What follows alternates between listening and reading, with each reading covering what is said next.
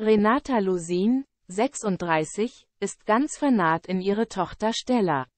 Vor wenigen Monaten erblickte das erste Kind der Let's Dance-Profitänzerin und ihres Mannes Valentin, 37, das Licht der Welt.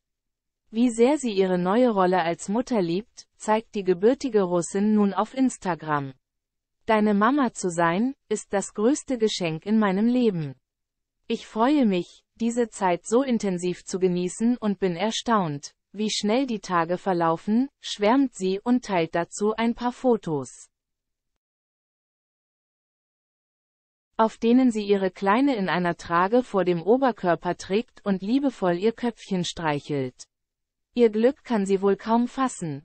Verständlich, wenn ich manchmal einfach Stunden auf dich schaue und jede Pore inhaliere. Ich liebe dich, Stella. Zwar musste die 36-Jährige wegen ihres Babys in diesem Jahr auf eine Let's Dance-Teilnahme verzichten, beim großen Finale war sie aber dabei, und zwar mit Stella. Während Renata das Geschehen im Publikum verfolgte, war ihre Tochter im Backstage-Bereich, so verriet sie Moderatorin Viktoria Swarovski, 30, sie ist hier, mit Oma und Opa in der zweiten Etage. Wie sie bereits vor der Live-Show gegenüber RTL erklärt hatte, müsse sie zwischendurch aber zum Stillen zu ihrem Kind. Also, wenn ich mal länger nicht da bin, dann hat Stella ganz viel Hunger.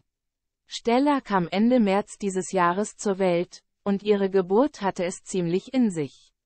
Wie die Neumama im Bild-Interview gestand. sei die Entbindung sehr herausfordernd gewesen und habe rund zwei Tage gedauert. Die Geburt war anstrengender als jede Let's Dance Staffel und jede Weltmeisterschaft. Die härtesten zwei Tage meines Lebens. Ihr Ehemann sei ihr aber nicht von der Seite gewichen und habe sie sehr unterstützt. Das Paar hatte zuvor jahrelang vergeblich versucht, ein Kind zu bekommen und musste einige Fehlgeburten durchmachen.